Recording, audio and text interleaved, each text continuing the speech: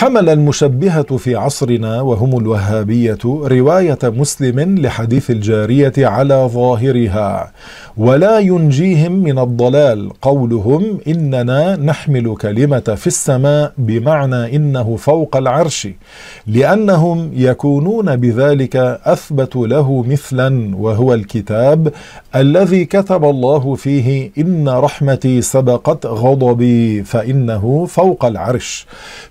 فيكونون أثبتوا المماثلة بين الله وبين ذلك الكتاب لأنهم جعلوا الله وذلك الكتاب مستقرين فوق العرش فيكونون كذبوا قول الله تعالى في سورة الشورى ليس كمثله شيء وحديث الكتاب رواه ابن حبان بلفظ مرفوع فوق العرش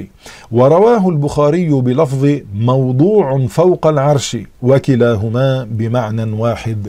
ثم على اعتقادهم أن الله فوق العرش يلزم أن يكون الله محاذيا للعرش بقدر العرش